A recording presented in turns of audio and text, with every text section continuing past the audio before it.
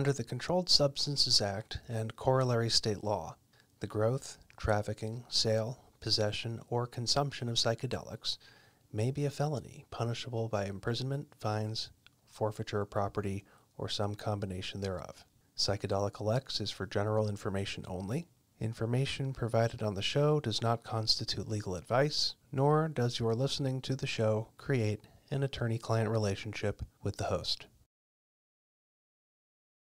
Hello, I'm attorney Gary Smith, and I want to welcome you to another episode of Psychedelica Lex, the Law of Psychedelics, my ongoing exploration of the question of the law of psychedelics.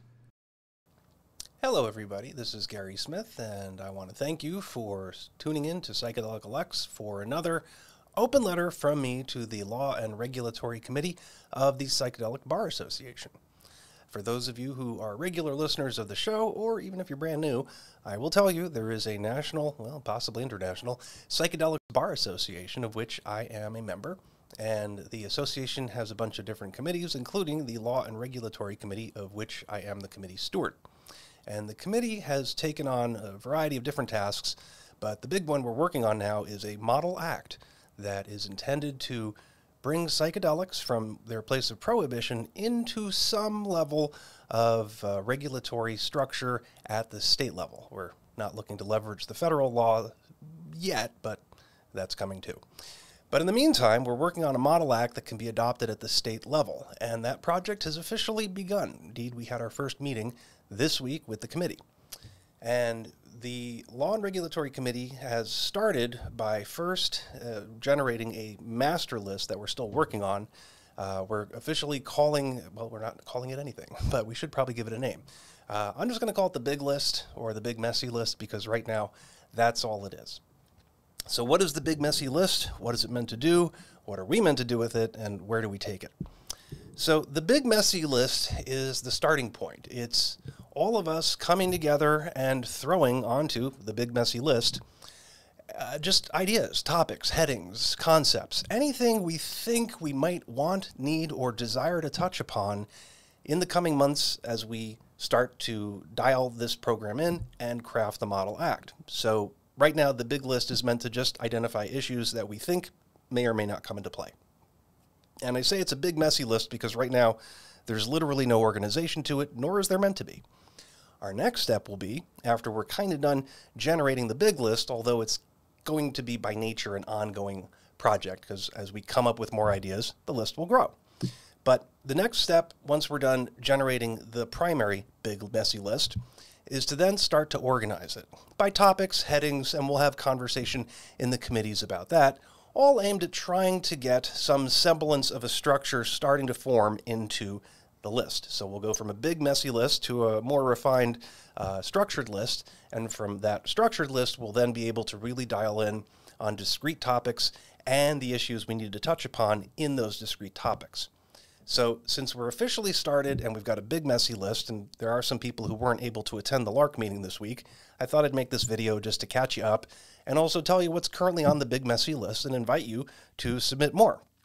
Also, for listeners of my podcast who aren't members of the LARC or aren't attorneys, if you've got ideas that you think we should be looking at, I absolutely want to hear from you. Um, I'm not guaranteeing every idea is a good one, but if you don't ask, we'll never know. So if you've got ideas, please email the show. I'm, I'm happy to look at those ideas and take them to the Law and Regulatory Committee for consideration. So here's the list as it currently exists. I'll just read it to you. It's nothing fancy or special, but Again, it's in no semblance of order or, or logic or meaning. It was just stream of consciousness as each of us took a whack at listing ideas. So here it is. The list as it currently exists as of oh, 23 September 2022. No particular order.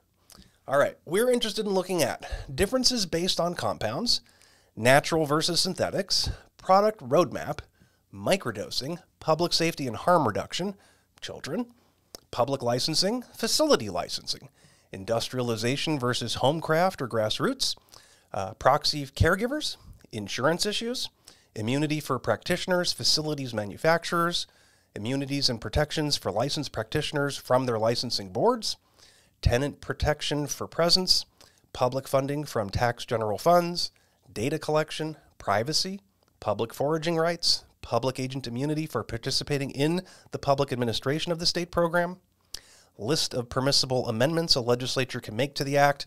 That's important in states where this might be passed by a public initiative. Uh, assurance of meeting of single subject standard, again, another issue we would need to address in states that might consider running this by public initiative.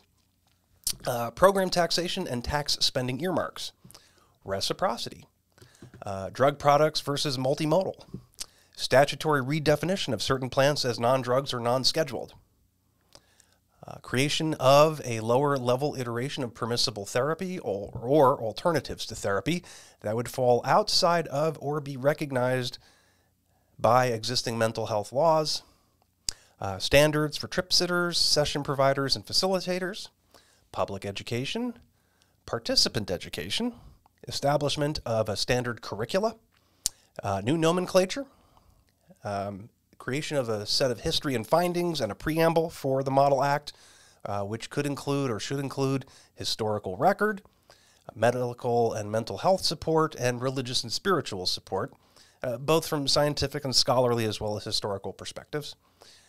Uh, let's see, what else do we have on the list? Then it keeps going.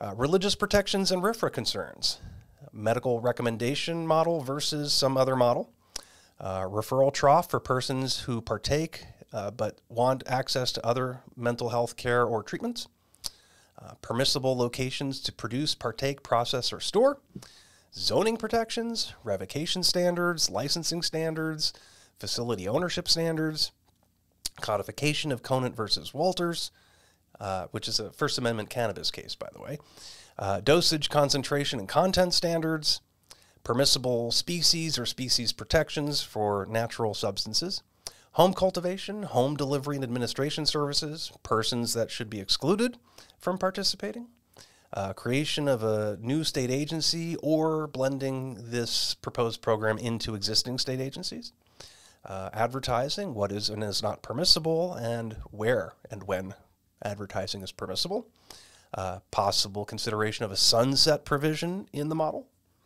Uh, unprocessed products versus processed products. Is there a difference and should it be addressed? Lab testing, including lab standards and lists of required tests. Reparations, indigenous reciprocity and benefit honoring. Equitable access, environmental preservation, legalization versus decrim. That's that's going to be an interesting one to talk about. Uh, nonprofit versus for-profit structures, another tough conversation. Uh, regulatory structures, cultural appropriation issues, medical versus non-medical use, post-capitalism, incrementalism, psychedelic exceptionalism, criminal drug conviction. Ah, let me try that one again. Criminal drug conviction disenfranchisement, cultural humility and competence, uh, ability of local jurisdictions to opt out, uh, involvement of in state activists versus out of state lobbyists in crafting legislation, uh, client privacy consent and mandatory data collect. Oh, somebody duplicated that one. Sorry. Uh, discretion left to regulatory agencies. Yeah, uh, tax, including 280E concerns and state tax exemptions, uh, and also interstate commerce between consenting states, which could also include, I suspect, interstate commerce pacts, which are a thing. Uh, not common, but they're a thing. Uh, anyway, that's the first list that the Law and Regulatory Committee has come up with thus far in really, honestly, barely a week that we've been working on this. And we're still working on the big list. So, for those of you who are members of the Law and Regulatory Committee, I want to make you aware this list is available to you.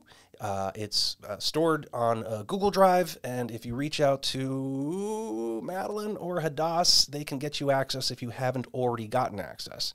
And once you have access, you'll be able not only to see the list, but add to it. So if you've got items you want to add, please. Uh, there's literally nothing that's inappropriate for the list. If you can think of anything at all that is worth conversation or at least worth considering for conversation, please do add it to the list. And again, in the weeks and months to come, we're going to be taking this list, refining it, we're going to organize it.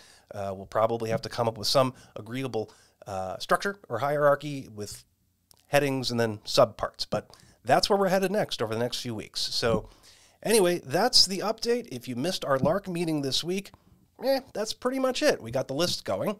Uh, beyond that, I also, at the beginning of our meeting, introduced to the Law and Regulatory Committee the uh, work I've been doing behind the scenes in support of this uh, Model Act effort.